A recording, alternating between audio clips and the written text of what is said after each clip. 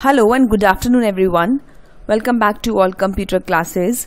Students, we have finished all the topics of chapter 3 about tabular presentation and this presentation is about solved exercises of the chapter 3, right? So in this video we will solve fill in the blanks, true and false, application based questions, MCQs and some question answers, right? So let's move ahead and solve them. Dash key is used to move the cursor to the adjoining cell of a table. So which key is used? That is tab key, right?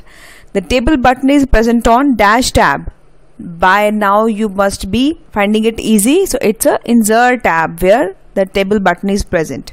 You can resize the width of the column by selecting dash button in the tables group right? So it is a properties button. Properties button also gives us option to uh, resize the column width. So next is dash option adjust the table according to the margins set on a window. Right? Window means on your page. So it is auto fit window. Next is while changing the column width the pointer changes into your pointers looks changes and it looks like double headed arrow right?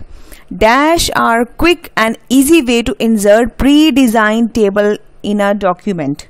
So when it when we talk about pre-designed and easy and quick way so these they are always quick tables right? So next is state true or false. So these are the five statements. Now let's read it and find whether they are true or false now the first one is clicking on the table move handle will select the entire table. So when we click on the table move handle, does it select the table? Yes, it does. You can insert columns only to the left side of the selected column. No, we can select on the both sides. So it is false. Auto fit content option adjust the column width according to the data entered. Yes, when we talk about auto fit content so it depends upon the data entered. So it is true. Cell cannot be merged in a table. It is wrong. We can merge the cells. So it is false. Pressing shift and tab key move to the next cell. Wrong. How we, how we can say that? Because tab key takes us to the next cell and shift plus tab key brings our cursor to the previous cell. So it is false right? So let's move ahead. Now let's see can we think of the solution of the problems? So it is application based question. Teacher has asked rohan to enter his test marks in table.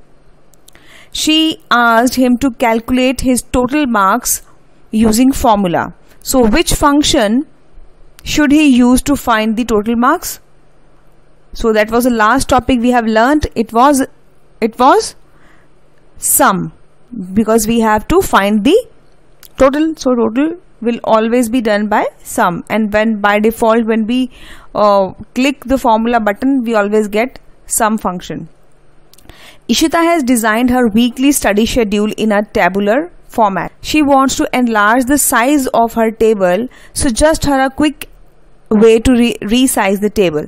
So what is a easy way? Easiest way is to auto fit content. Why? Because once you have selected this option have as much is your data that much width of the uh, column will be there.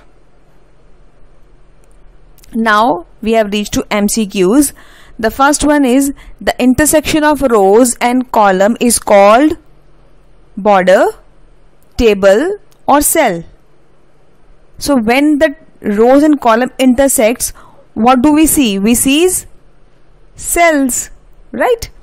Table group is present on dash tab layout insert or home. So you always insert a table. So you find the table group on insert tab right? Now which key combination moves the cursor to the previous cell previous cell. So tab plus all shift plus tab or none. So it is shift plus tab, right? which function key is used to update the result in a cell? So after that was the absolutely last topic we have done. So F5 F7 F9 yes F9 right?